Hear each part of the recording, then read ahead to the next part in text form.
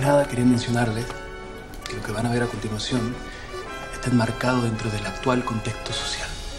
Debido a las presiones internacionales, Pinochet ha tenido que aceptar la campaña opositora. Es la oportunidad que tenemos de derrocar a la dictadura.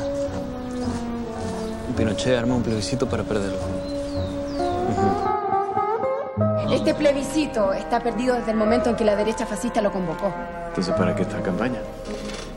Para crear conciencia. Tengo que hacer algo que sea placentero, pero que, que signifique eso. que Entonces sea- la alegría sola. Claro, ¿Qué sí, hay sí, más sí. alegre que la alegría? Nada.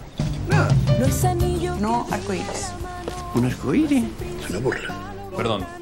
Estamos haciendo algo mucho más serio que eso. Tu lavado de imagen.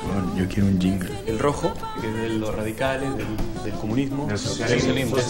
Perdón. Chile, la alegría ya viene. No hay manera de parar esta payasada. Sería un escándalo. El mundo tiene puestos sus ojos en nosotros. No conseguimos ni un artista nuestro. Están todos con ellos.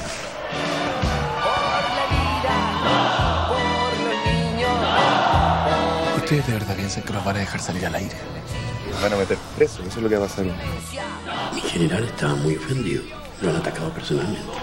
No, no, la elección está completamente controlada. Anoche nos amenazaron a todos. Cuida a tu hijo, weón. Denunciamos esta weá. Estoy hasta la madre de tu puta denuncia. Esto no es tuyo. Mi alegría, René, es distinta a la tuya. Con un poquito más de respeto, que hay mucha gente importante involucrada, weón. No seas tan divo. Esto es una lápida. Esto dejó de ser una campañita, weón. Empezó a ser materia de Estado.